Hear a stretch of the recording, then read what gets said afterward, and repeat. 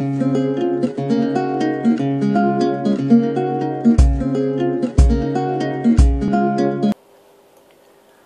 guys, this is a little bit of a different video this time. Uh, my first video was going to actually be of how to set up a tropical tank.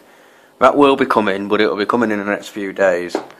Um, recently I lost all of my fish due to an accident with a heater. The thermostat in the heater, um, obviously it's, it stopped working and overnight managed to fry all my fish. Quite a lot of money's worth as well. So what I thought I'd do is make a video highlighting the importance of heaters, the maintenance of heaters, the care of heaters, choosing the correct heater for your tank, and any other options that you can get to just prevent this happening. I know recently there's been a lot of issues with heaters due to mainly the weather. They've been working overtime due to the cold, but also a lot of people have been getting cheap heaters which is great at the time. It saves money. You can pick them up from the likes of a range or other other stores, and you can pick them up for next to nothing. This is all great. I'm not saying they won't work. They will work, but the thermostats aren't always the most reliable. The best ones to go for are Fluval, Eheim, Juwel, Rena, and all the other big name makes. These often have better parts in them, more quality parts they have the thermostats which work much better.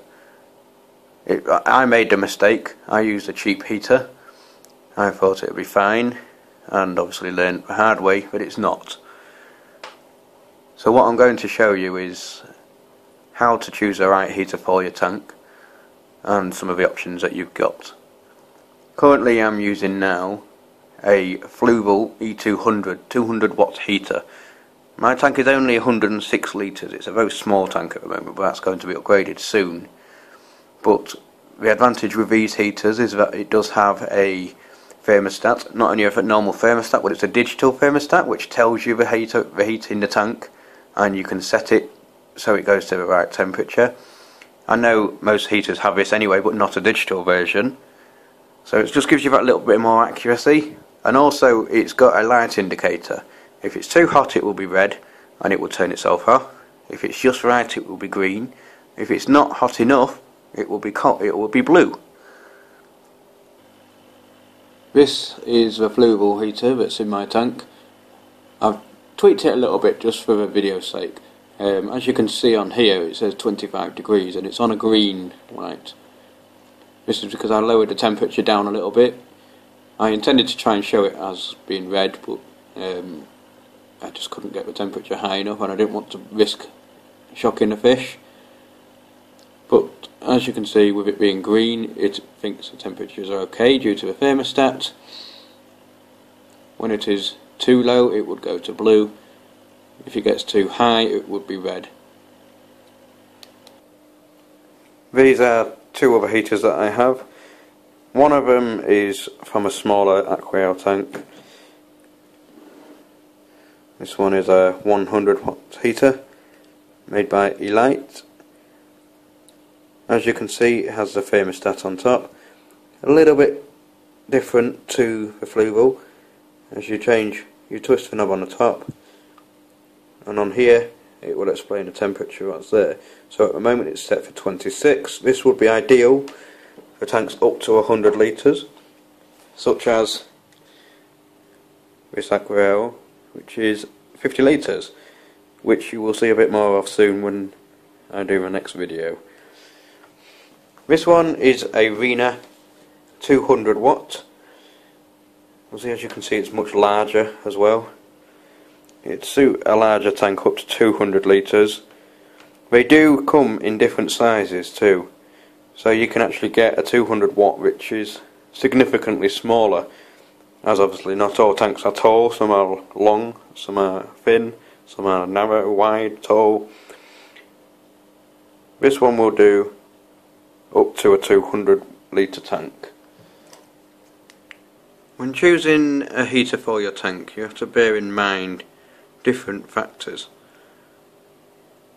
For example if you have a large tank, a 6x2x2 for example, You can buy heaters that are up to a thousand watts. You can actually buy bigger, but it's not always necessary. Two 300 watt heaters would be more than adequate. Remember not to put the two heaters close to each other, one either end of a tank. Most people prefer to put heaters tucked in at the side. I mean, I have on this tank, but obviously it's only a small tank, so it doesn't take a lot to heat it. Generally, I like to put my heaters along the back, of, uh, along the bottom of a tank. So you could run it from there through to here. It hides it quite well as well, and also the heat will rise.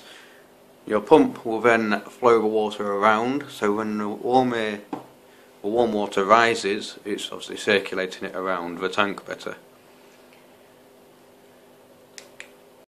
Another main factor to take note of is putting your heater in a point where there is not a lot of flow as not all tanks can achieve maximum flow rate and circulation. For example, if you put your heater at this end of the tank, now on here you can see I've still got a good amount of flow, but most tanks will have dead spots.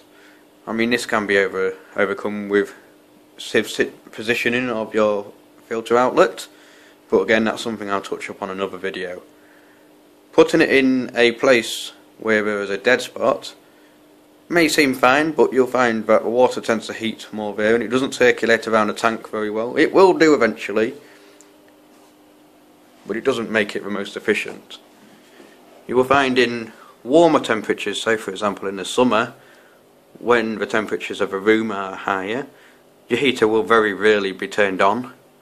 It will just be there purely to keep the temperature at the desired level. Some people will use 300 watt heaters in very small tanks. This is good because it's very rarely used then. It's much more efficient, effectively, than a 100 watt, which will, will be working 100% of the time, whereas a 300 watt will be keeping it heated and then switching itself off when it reaches the desired level and then kicking back into action when it's dropped back through to a certain level. As I mentioned earlier, I did lose all my fish due to the thermostat not working on mine. It, it went, and obviously the heater didn't know when to turn itself off, so it just kept heating the, the water.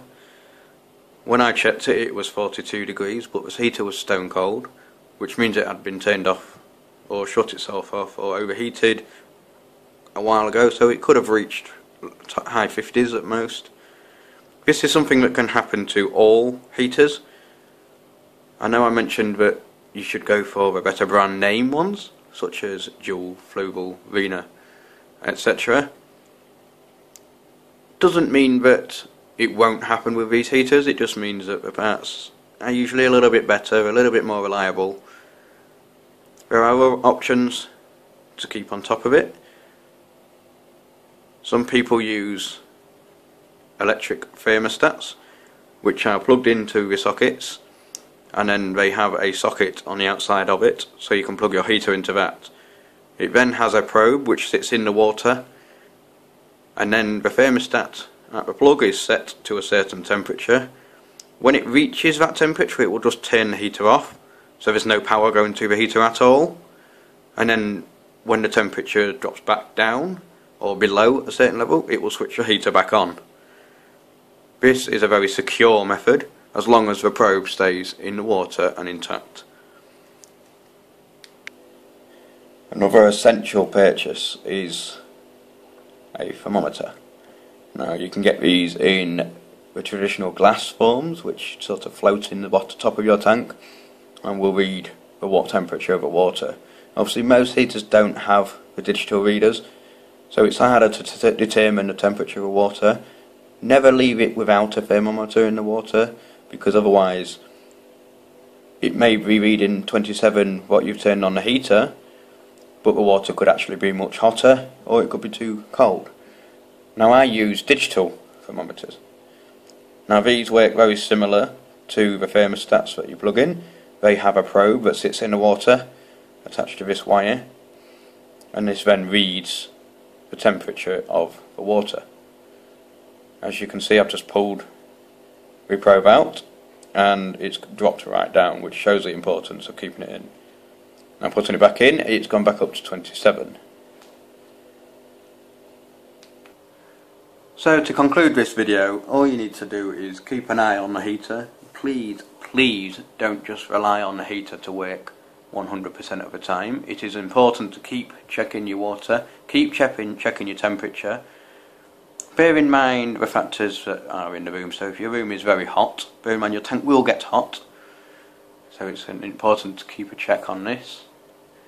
Keeping your lights down if you're using fluorescent tubes or halides especially will reduce your temperature. LEDs not so as they don't tend to emit a great deal of heat purchasing external thermostats, especially on bigger tanks or tanks with a lot of money's worth of fish in there, is a must. It's certainly something that I'm going to be purchasing, and I will review one of those on another video.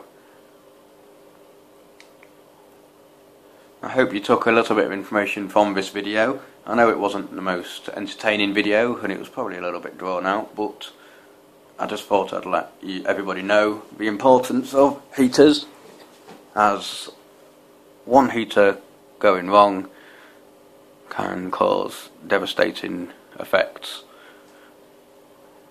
Well, keep tuned I will be posting more videos soon, hopefully one a week and there will be videos including DIY filters, how to set up tropical tanks, basic tropical tanks how to set up region-specific biotopes, DIY caves, as you can see in my tank. The cave in a tank is provided by a good friend, which I will provide a link on the video. Please subscribe, and I look forward to hearing from any feedback from you. Thank you.